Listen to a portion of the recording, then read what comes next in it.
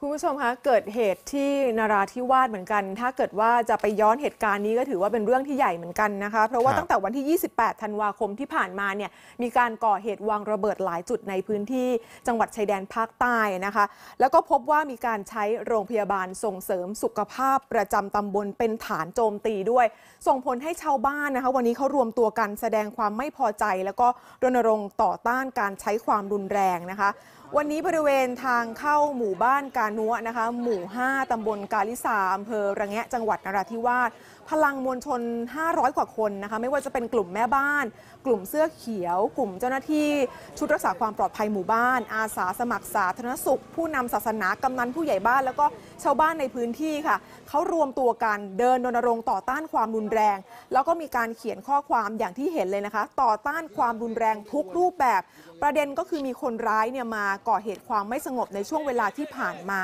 นะคะ แล้วก็มานำไปใช้พื้นที่ของทางโรงพยาบาลส่งเสริมสุขภาพตำบลเนี่ยเป็นฐานในการก่อเหตุนะคะออคือกลุ่มชาวบ้านเหล่านี้เองเนี่ยเขาก็ถือว่าเป็นเรื่องที่ไม่ถูกต้องนะคะ ก็ระหว่างที่มีการเคลื่อนไหวกันนะก็มีทั้งทหารฝ่ายปกครองอมาคอยดูแลความปลอดภัยในบริเวณที่จัดกิจกรรมต่อต้านความรุนแรงด้วยค่ะ ทางในอำเภอระแงะทางผู้บังคับการเฉพาะชุดเฉพาะกิจนะครับทหารพรานที่ 45 ทางตำรวจเองก็ประชุมนะครับประชุมกำนันผู้ใหญ่บ้านในพื้นที่ เพื่อหารือกับเหตุการณ์ที่เกิดขึ้นนะครับ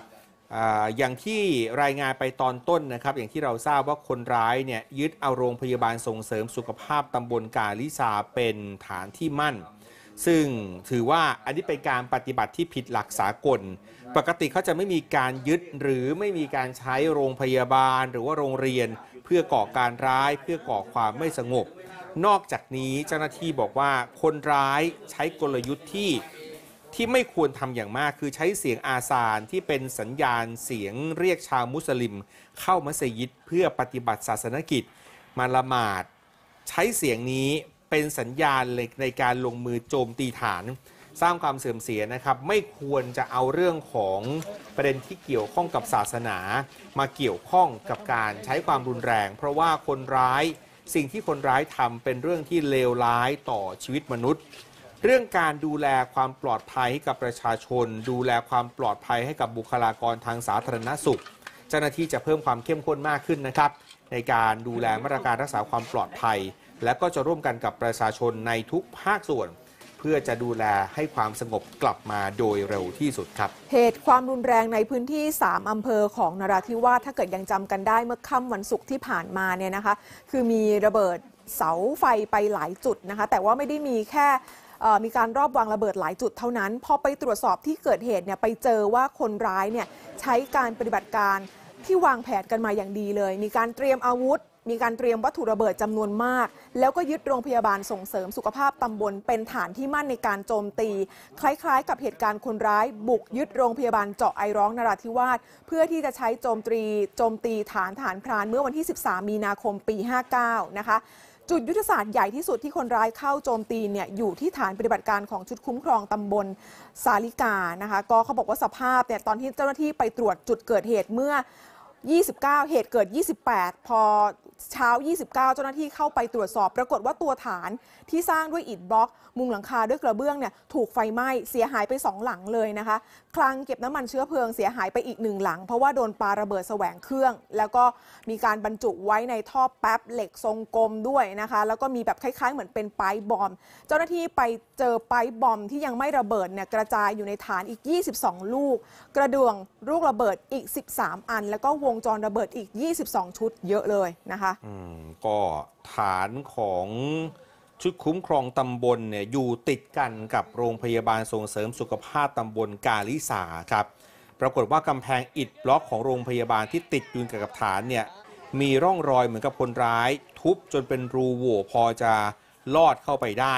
เจ้าหน้าที่สันนิษฐานว่าคนร้ายกลุ่มแรกน่าจะประมาณสัก 7-8 คน มีอาวุธปืนแฝงตัวเข้าไปในโรงพยาบาลส่งเสริมสุขภาพตำบลกาลิซา แล้วก็ควบคุมเจ้าหน้าที่ 4 คน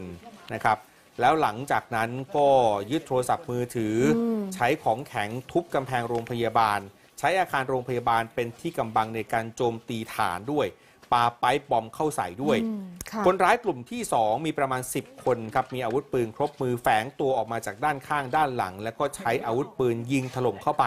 จนกระทั่งมีการประทะกับกำลังของชุดเจ้าหน้าที่ด้วยนะครับ อดีตกำนันตำบลกาลิซาเล่าให้ฟังบอกว่าได้ยินเสียงปืนแล้วก็ระเบิดค่ะก็เลยระดมชุดกำลังรักษาความปลอดภัยหมู่บ้าน แล้วก็ผู้ช่วยผู้ใหญ่บ้าน 12 คน เอาปืนลูกซองเนี่ยแหละค่ะไปสนับสนุนชุดคุ้มครองตำบล แล้วก็เปิดฉากยิงปะทะกับกลุ่มคนร้ายเลยค่ะ ต่อสู้กันประมาณชั่วโมงหนึ่งคนร้ายแบบท่าจะไม่ไหวจวนตัว ก็เลยอาศัยความชำนาญในพื้นที่ล่าถอยไป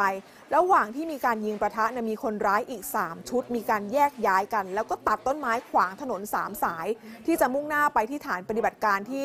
ชอชุดคุ้มครองตำบลสาลิกาด้วยนะคะ เพื่อที่จะสกัดกั้นพอเสียงปืนเงียบลงก็เจอคนเจ็บหนึ่งรายค่ะ ถูกสะเก็ดระเบิดของคนร้ายพอเข้าไปตรวจสอบเพิ่มเติมในโรงพยาบาล ก็เจอเจ้าหน้าที่ 4 คนที่เล่าไปตอนต้น ถูกจับกลุ่มตัวอยู่นะคะสภาพเนี่ยเสียขวัญเลยนะคะ ตอนนี้ก็พาตัวออกมาฟื้นฟูสภาพจิตใจก่อนที่จะส่งกลับบ้านแล้วนะคะ อุกอาจมากนะ ชาวบ้านในพื้นที่เขาก็หวาดค่ะหวาดผวานะครับ ก็รวมตัวกันเรียกร้อง ขอความสงบกลับมา เราจะพัก